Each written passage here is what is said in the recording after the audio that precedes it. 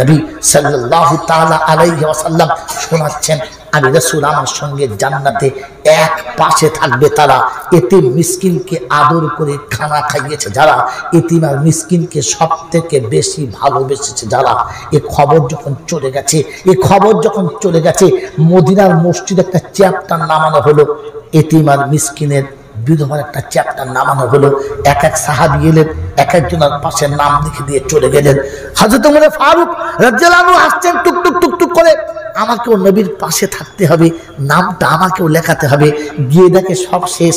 একটা নাম বাকি আছে নিচেতে, হালকা জায়গায় লেখা আছে।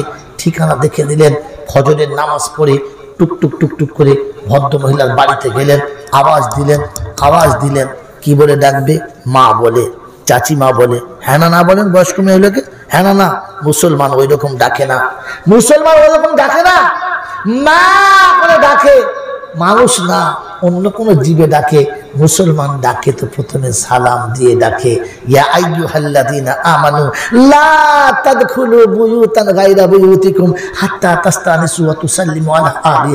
প্রথমে সালাম দাও, পরে ডাক দাও, তাই গিয়ে বলেন, আসসালামু আলাইকুম ওয়া রাহমাতুল্লাহি ওয়া মহিলা বাঘ হলেন মা হয়ে বললেন, কি আব্বা, সন্তানের মতো করুন আওয়াজ করে মা বলে ডাকো, কে বললেন আমি খাত্তাবের বেটা ওমর এসেছি।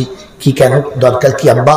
বললে মা আপনি ঘর থেকে বার হয়ে আসুন। আপনার ওই রাতে ঘুমানো বাসি বিছানাটা আমি একটু ঝেড়ে পরিষ্কার করে দিই। ঘর থেকে একটু ভালো করে ঝাড় দিয়ে দিই। আপনার পান পাত্র কোথায় বলুন? আমি পানি তুলে দিয়ে যাই। সারাদিন গোসলের পানি, সারাদিনে আপনার কাপড় চোপড় ধুইতে হবে, রান্না বান্না করতে হবে। আপনার শরীর ধোয়ার দরকার আছে। আপনার যত পানির দরকার, সব পানি একবারে তুলে দিয়ে যাব। আপনি সারাদিন পানিটা ব্যবহার করবেন। পানির জায়গাটা দেখিয়ে দেন।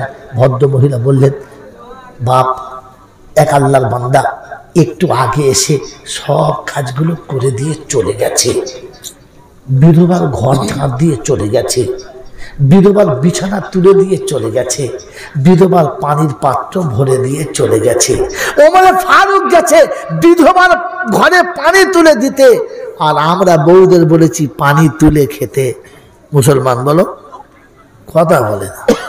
বউরা পানি আনে, লাইন দিয়ে পাড়ায় যায়। আর ও হারাম করে মোড়ের দোকানে চার দোকানে বসে বিড়ি খায় আর তাকায় হয়তো আমরা ভাবি পানি দিয়ে যাচ্ছে। লজ্জা লাগে না? হয়তো বলে ফারুক ভাবলেন, আজকে যখন করেছে, গিয়ে দেখি নাম তো লেখে নাই। ঠিক আছে, কালকে দেখব কি করে আমার আগে আসে। তাই সেদিন চিন্তা করলেন, কাল দেখব। পরের দিন সকালবেলা যেমনি ফজরের আজান হয়ে গেছে, অমনি টুক টুক টুক টুক টুক টুক করে চলে এসেছে। চারিদিকে তখন হালকা হালকা অন্ধকার। এসে আওয়াজ দিচ্ছে, আসসালামু আলাইকুম রহমতুল্লাহ। কি আব্বা? বললে, মা, আমি খাত্তাবের বেটা আমার কাল এসেছিলাম। কাজটা পেলাম না। আজকের কাজটা করে যেতে চাচ্ছি। আজকের বিছানাটা ঝাড় দিয়ে দিই। আজকের ঘরটা ঝাড় দিই বিছানাটা তুলে দিই। পানি টেনে দিই। বললে, আব্বা রে এক আল্লাহর বান্দা একটু আগে এসে কাজটা করে দিয়ে চলে গেছে। হয়তো ফারুকের মনটা খুব খারাপ হয়ে গেল। দুদিন চান্স দিলাম, পেলাম না। ঠিক আছে বেটা, কাল তোকে হারাবোই হারাবো। দেখি কি করে আসতে পারিস।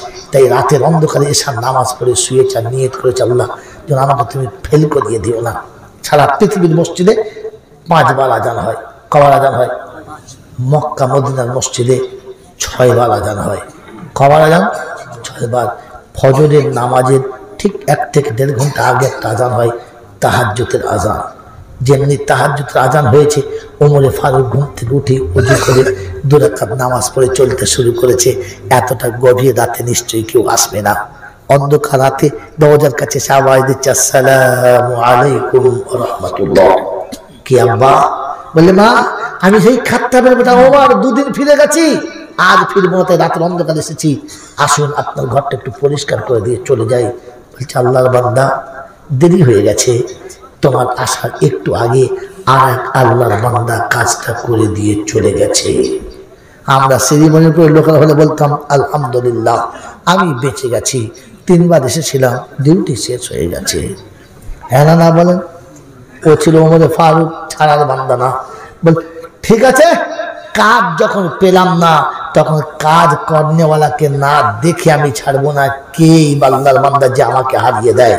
তাই পরের দিনে সন্ধ্যাবেলা এশার নামাজ মদিনার মসজিদে পড়ে বসে আছে। সাহাবিরা সব বাড়ি চলে গেছে। নিজে মসজিদের দরজা বন্ধ করে টুক টুক টুক টুক করে চলতে শুরু করেছে ওই ভদ্র মহিলার বাড়ির কাছে। আল্লাহ পাক শোনাচ্ছে, আমার নবীর আশিক হতে গেলে চারটে জিনিস ছাড়তে হয়। কটা জিনিস? চলে বলেন, চারটে। এক নম্বর, ভালোবাসার বাহুর দুই নম্বর, আরামের শয্যা। তিন নম্বর, সঞ্চিত সম্পদ। চতুর্থ নম্বর, সমাদরে মানুষ করা সন্তান।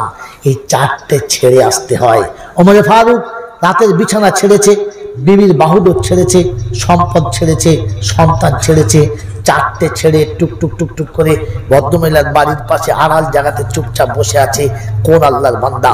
রাত যখন গভীর, চারিদিকে স্তব্ধ, অন্ধকার, কালো, ঘুটঘুটে হয়ে গেছে, ঠিক এইরকম একটা সময়তে এক যুবক মুখে কাপড় বেঁধে টুক টুক টুক টুক টুক টুক করে ভদ্রমহিলার বাড়ি এসেছে।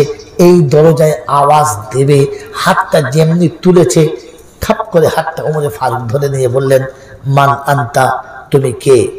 যুবক জবাব দেয় না কথা বলে না মুখ খোলে না, খালি হাতটা জোর করে ছাড়াতে চাচ্ছে। ওমরে ফারুক বলছে, শোনো আল্লাহর বান্দা ওমরের হাত ছাড়ালে মৌত ফাইনাল ওমরকে মান মেনে না নিলে মৌত ফাইনাল হয় কথার জবাব দাও, তা নাহলে মৃত্যুর জন্য তৈরি হও। যুবক মৃত্যুর জন্য তৈরিও না, কথার জবাবও দেয় না, ধস্তাধস্তি চলছে দুজনা। হঠাৎ মুখে কাপড়টা খুলে গেছে, তাকিয়ে দেখি আবু বকর সিদ্দিকিরা দিলানহু দাঁড়িয়ে আছে। ওমরে ফারুক পায়ের কাছে চুপ করে বসে থরথর করে কাঁপছে আর বলছে, হাবিবুল মোমিনিন, আমাকে ক্ষমা করে দেবেন। আমি বুঝতে পারি নাই। সিদ্দিক আকবর বলেন, ভাই, এটাতে কোনো তোমার দোষ নেই, কারণ তোমার জায়গায় আমি হলে এটাই করতাম, অতএব তোমার দোষ নেই। ওমরে ফারুক উঠে দাঁড়ালেন আর বললেন, আমিরুল মোমিনিন, আমার একটা অভিযোগ আছে। বললে, কি? বলে, এই ভদ্র মহিলার ঘরে এসে কাজটা করে দেওয়ার জন্য আপনাকে কেন আসতে হবে? আমরা কি সব মরে গিয়েছিলাম? আমাদের বললেই তো আমরা কাজটা করে দিতাম। আমাদের বললেই তো আমরা কাজটা করে দিতাম। আমার বাবা বাবাজির, আমার সোনাচ্চার বন্ধুরা, আমার সোনামণি মায়েরা বোনেরা, সেদিন আবু বক্কা সিদ্দিক বলেছিলেন ওমরে ফারুককে বন্ধু জীবনে যত আমল করেছি, সব সবাই জানে। জীবনে যত রকম অন্যায় করেছি, সবাই জানে। কিছু অন্যায় এমন করেছি পৃথিবীর কেউ জানে না। তাই কিছু আমল এমন করতে চাচ্ছিলাম যেটা পৃথিবীর কেউ জানবে না। শুধু আল্লাহ জানবে আর আমি জানব, কাউকে জানাব না। আজ এই আমলটাও তো ধরা পড়ে গেলাম। বললেন, ঠিক আছে, চাপ থাক, গোপন থাক, বলব না। তবে একটা কথা জিজ্ঞাসা করতে পারি। বললে, কি?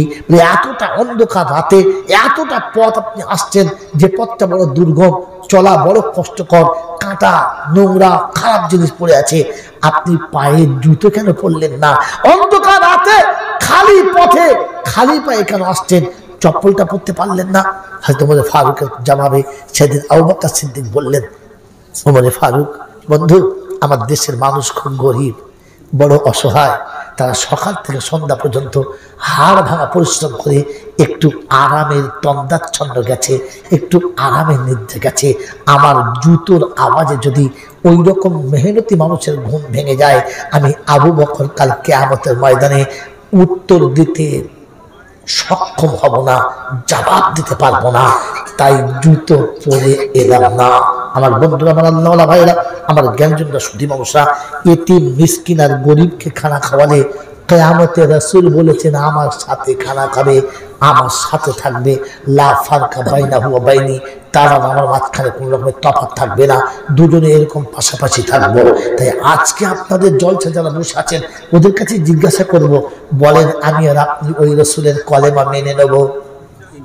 মেনে নেব, এতিম মিসকিনকে খানা খাওয়াবো খাওয়াবো, সত্যি বলছেন খাওয়াবো। কে কে খাওয়াবেন? হাত তোলেন দেখি, এতিম মিসকিনদের যারা খাওয়াবেন, বুঝে তুললেন। আমি বললাম, আর তুলে ফেললেন? তুলে ফেললেন তো? ঠিক আছে। যখন তুল, কিন্তু ফরজ ছেড়ে গেলে নামাজ আর রমজানে রোজা যদি ফরজ ছেড়ে যায়, রোজা হবে। পাঁচ লাখ টাকা খরচা করে হজে গিয়ে যদি ফরজ ছেড়ে হজ হবে। ফরজ চলে গেলে আমলের আর কিচ্ছু থাকে?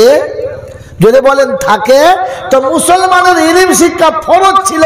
ফরজ চলে গেলে আর কিছু থাকে? বুঝে না কেন? আপনার আমার কাছে ইলিম শিক্ষা ফরজ মনে হয়? ভাবেন বসে বসে। ফরজের বাংলা কি? অপরিহার্য কর্তব্য যেটা ছাড়া চলে না। কি ভাই ঠিক বলছি না বলছি হ্যাঁ? অপরিহার্য কর্তব্য। আপনি পিতা হিসাবে জানেন যে আপনার ছেলেকে এই বিদ্যা শেখানো একান্ত প্রয়োজন। কমপক্ষে ছেলেটাকে চলা শেখানো বলা শেখানো একান্ত প্রয়োজন। তেমনি আপনার জানা দরকার ছিল ইলিম শিক্ষা করানো একান্ত প্রয়োজন। মনে আছে? যদি মনে ছিল তো আপনার ছেলে কই, ইলিম শিখেছে কই? আপনি ইলিম শিখলেন কই? আপনার ইলিম যে শিখতে পারেন নাই, তার জন্য ভেতরে আপনার ব্যথা কই? আপনার অন্তরে সেই ব্যথার অনুভূতিটা কই, যে আমি ইলিম শিখতে পারলাম না তার জন্য? তার মানে আপনার ইলিম শিক্ষা করার কোনো গরজই নাই। জোর করে টেনে হেঁচড়ে মাদ্রাসায় সেই কটাকে দিয়েছে যে কোটা ওয়া বয়স্ক আমার বয়সের মানুষ কিংবা তার থেকে উপরে তারা বলুন। আমরা যখন ফোরে থেকে ফাইভে গেছি, তখন বৃত্তি পরীক্ষা চলে। তাহলে বাড়ির বুড়ি মেয়েরা ডিম সিদ্ধ করে নাতিকে খাওয়াচ্ছে খাওয়া ভালো করে পরীক্ষা দিবি, তোকে বৃত্তি পরীক্ষা হাই স্কুল যেতে হবে। একটা বিরাট টেনশন ছিল মাথায় হ্যাঁ না বলে মাধ্যমিকের পরীক্ষা শুরু হলে, আরে ছেলের তো দূরের কথা, ছেলের বাপের পায়খানে বন্ধ হয়ে যেত, ছেলের মায়ের রাতে ঘুম নষ্ট হয়ে যেত। রোজা আমার ছেলেকে, মাধ্যমিকে পাশ করে কারণ মাধ্যমিক মারাত্মক ব্যাপার। সেদিন পাশ করা বড় মুশকিল ছিল। ঠিক না বল এখন ফেল করা বড় মুশকিল। হ্যাঁ না? হ্যাঁ। সেদিন পাস করা মুশকিল ছিল, এখন ফেল করা যদি বলে। হ্যাঁ। বাবাজি যে ইলিম শিক্ষা করা ফরজ ছিল, আমার অবস্থাটা বুঝে নি জলটা পরে শুনব। যে ছেলেটা পরীক্ষা দেওয়ার পরে কি পেয়েছে বলে ক। তার মানে বলে দারুণ চলেছে। তারপরেটা খ, বলে খারাপ না।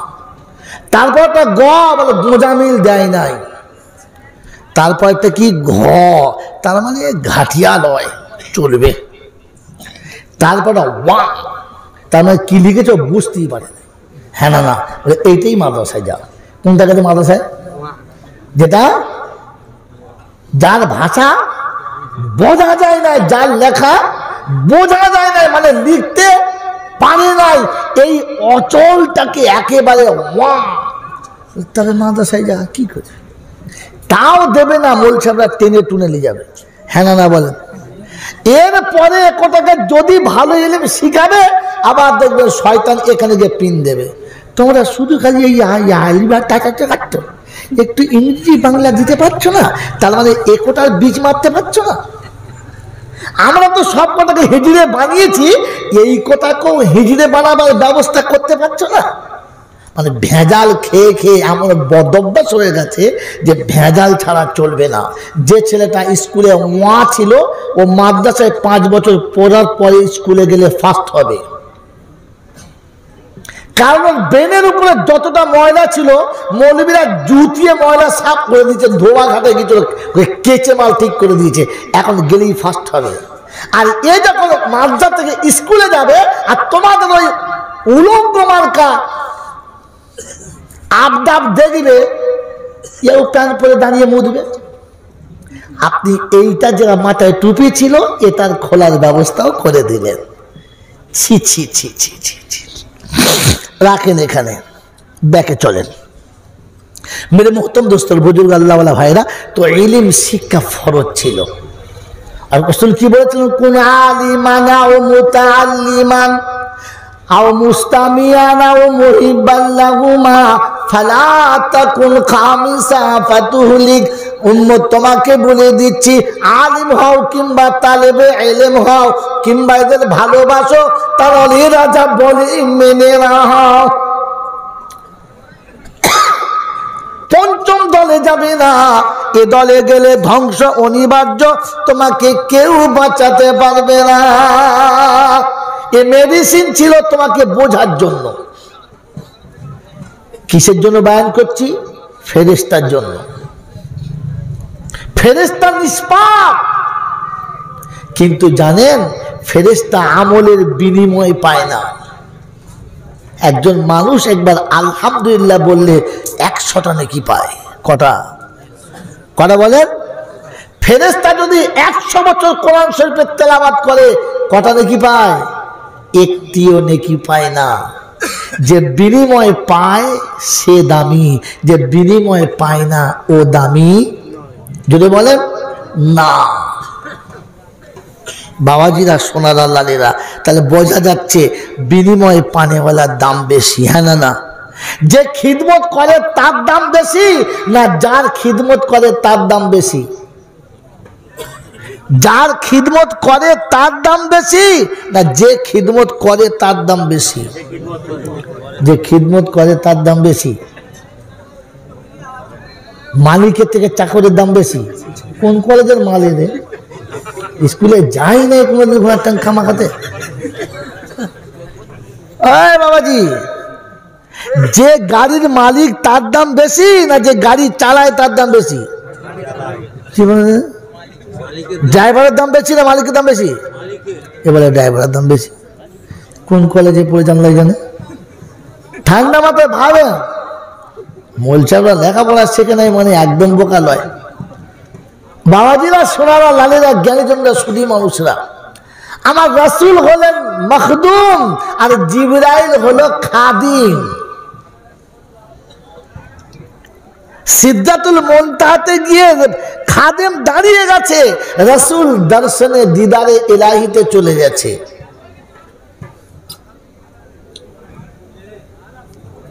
ফেরিস্তা নূরের নবী মাটির দাম বেশিকা মাটির না নূরের? আদমকে সেইটা করাচ্ছে ফেরেস্তা দিয়ে দাম মাটির মাটির সম্মান বাড়িয়ে ফেরেস্তা দিয়ে সেইদা করাচ্ছে। মাটির দাম বাড়িয়ে ফেরেস্তা দিয়ে মাটির খিদমত করানো করাচ্ছে। ওই বাবাজিরা, এই মাটির তৈরি বেলালের নাম শুনেছেন? হ্যাঁ নাম বলেন? খুব সুন্দর দেখতে তো। বলছে হ্যাঁ। হ্যাঁ? এত কালো যে পৃথিবীর কোনো কালোর সাথে মেলানো যাবে না আলকাত্তার থেকে দ্বীপ ইউথোপিয়ার মানুষ আপনারা দেখেছেন কিনা জানি না। আজও এই সেদিন দেখে আসছে ইথিওপিয়ার মানুষ। যাদের ডিজাইন দেখলে মনে হবে না মানুষ হলো কি করে। না নাকের ডিজাইন, না চোখের ডিজাইন, না মাথার ডিজাইন, না হাত পার ডিজাইন, না কালারের ডিজাইন, না বডির ডিজাইন। মনে হচ্ছে কোনো ডাইসে ফেলে থাবড়ে বানিয়ে দিচ্ছে কথা বোঝেন না বোঝেন নাই? এইরকম বেলাল জান্নাতে যাবে কি যাবে না? ভাবেন তাহলে জান্নাত যাবে যাবে না? যাবে। রসুল জান্নাতের বাগানে বিচরণ করছেন, পায়ের ধ্বনি পড়ছে, জিজ্ঞাসা করছে, ইয়া খিজিব্রাইল মা হাজা খাসখাস? চলছে আর মাঝখানে একটা আওয়াজ আসছে, কিসের? তো বলে, এটা পায়ের ধ্বনি। বলে, কার? বলে, আপনার উন্মতের কে সেই ব্যক্তি? মানে হাজার রাজুল? তো শোনাচ্ছে, হুয়া বেলাল। বেলাল মদিনায় চলে। আওয়াজের প্রতিধ্বনি আসমানের তলে, আরশের তলে। বলে, বেলাল, রসুল জান্নাতের বাগানে যাচ্ছেন, তো জান্নাতের খিড়কি দিয়ে হুড়ো গেলেমান ডাকছে, ইয়া রসুল, আইনা বেলাল? আল্লাহ হাবিব, আপনি এসেছেন, বেলাল কোথায়? বেলাল, কবে আসবে? আমরা সেজে বসে আছি, জান্নাত সাজিয়ে বসে আছি বেলালের জন্য, কবে আসবে? বেলালের জন্য জান্নাত সাজানো আছে। হুরগেলে মানুষ সেজে বসে আছে। হাতে সম্মানের মালা নিয়ে বসে আছে যে বেলাল আসতে দেরি, আমরা পড়াতে দেরি করব না। এই বেলালের জন্য জান্নাত একটা ফ্ল্যাট আছে। হ্যাঁ না না। জীবনে কোনোদিন শুনেছেন জিব্রাইলের জন্য জান্নাতে একটা ফ্ল্যাট আছে? এক কোটি ঘর আছে। নাই। তো যে জান্নাতের যোগ্য দাম বেশি, তার না যে জান্নাতের যোগ্য না, দাম বেশি তার। যদি বলেন, যে জান্নাতের যোগ্য দাম বেশি তার। আল্লাহ পাক রাব্বাল আলমিন মাটির সম্মান উপরে তুলেছেন। কথা বোঝেন না বোঝেন নাই? এবারে ভোজেন পণ্ডিত বোঝে, সারাতে মূর্খ বোঝে, কিলে? আর একেবারে পাগল বোঝে দু চার ঘা দিলে। যারা আমার নবীকে টেনে নূরের নবী বানিয়েছে, নবীকে ছোট করেছে না বড় করেছে?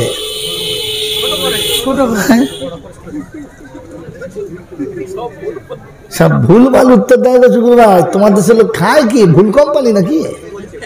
হ্যাঁ? এতক্ষণ থেকে শুনলি কে তুমি শেষে বুঝলে কি? যারা রাসুলকে বলেছেন, নূরের নবী নূরের নবী, মাথা মোটা। নূর জান্নাতি নয়, মাটি জান্নাতি। কথা মনে থাকবে ইনশাল্লাহ সেই জন্য কথা এখান থেকে বেঁকে নিচ্ছি, জায়গাতে চলে যাচ্ছি।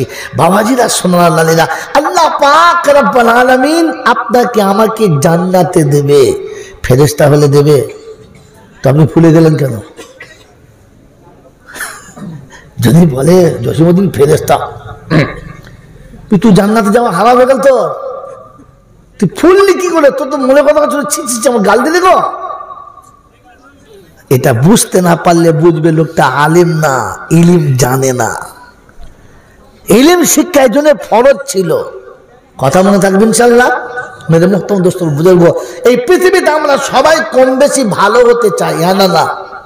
ডাক্তার ভালো, মাস্টার ভালো, জজ ভালো, ব্যারিস্টার ভালো, উকিল ভালো, মক্তার ভালো, হাকিম ভালো মিনিস্টার ভালো প্রফেসর ভালো ইঞ্জিনিয়ার ভালো, সব ভালো না ভালো? কি ভালো না খারাপ? জোরে বলেন। সব থেকে ভালো কে? আরে জমিনে মানুষের বলো সব থেকে ভালো কে? মোহাম্মদুর রসুল্লাহ সব থেকে ভালো কে? মোহাম্মদুর রসুল্লাহ তাকে জিজ্ঞাসা করো পৃথিবীতে সব থেকে ভালো কে? তো তিনি শুনেছেন, খাইরুকুম